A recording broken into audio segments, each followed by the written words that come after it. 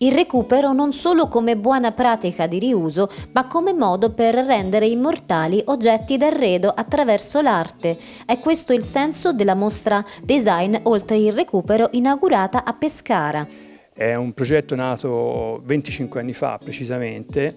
ed è stato pensato per sensibilizzare e incentivare i temi di recupero e di riuso di materia.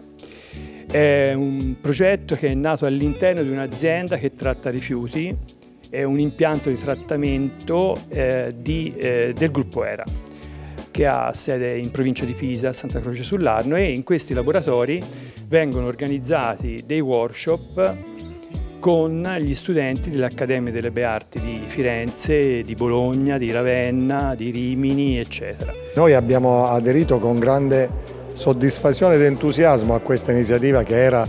ha voluto fare a Pescara. Qui noi parliamo di opere d'arte però particolari perché sono opere d'arte recuperate da rifiuti, scarti industriali, il nome stesso della mostra SCART è onomatopeico e ci fa capire che oggi noi dobbiamo pensare ai rifiuti come qualcosa di diverso rispetto a quello che abbiamo pensato fino a oggi, eh, tant'è che eh, la sostenibilità ambientale, il cambiamento sono eh, parole, frasi che ripetiamo sempre, ma poi vediamo concretamente come si applicano ed è sempre un discorso culturale, far capire a tutti che il cambiamento deve essere attuato, deve portarci in una dimensione diversa e i rifiuti sono eh, una delle componenti fondamentali della nostra società e poterle recuperare, poterle utilizzare in maniera diversa rispetto al, al gettarli così semplicemente è un passo in avanti che noi vogliamo fare, stiamo lavorando per il porta a porta a pescare, entro la fine dell'anno li introdurremo in tutta la città e avremo fatto quel salto qualitativo necessario